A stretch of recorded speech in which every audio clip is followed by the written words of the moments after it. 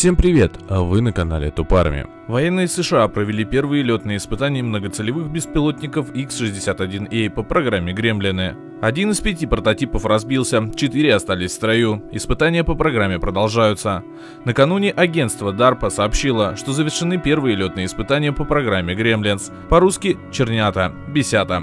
В рамках программы испытываются беспилотные многоцелевые летательные аппараты компании Dynestics. Военные США присвоили им индекс X-61A, что говорит о серьезности намерений в отношениях этого вооружения. Летные испытания X-61A прошли в конце ноября прошлого года.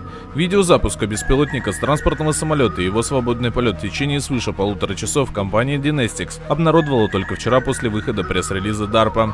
Военные секреты, ничего не поделаешь. Проблемы с парашютом привели к потере одного из опытных аппаратов. 4X61A продолжит испытания в текущем году. Беспилотники по программе Гремлины запускаются с транспортного самолета-носителя вне зоны действия вражеских систем ПВО и после выполнения боевой задачи отлавливаются носителем в воздухе. Наземная команда после возвращения чертенят на аэродроме в течение суток восстанавливает их боевую готовность для последующих запусков. Аппараты предназначены для действия группой.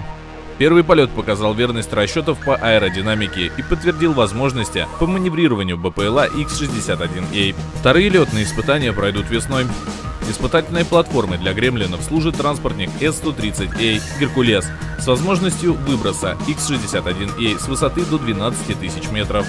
Система сброса и захвата в воздухе может быть легко переведена на другие планеры. Беспилотник X-61A может развивать скорость до 0,8 числа Маха. Продолжительность полета достигает 3 часа, а дальность до 926 километров, в зависимости от веса нагрузки.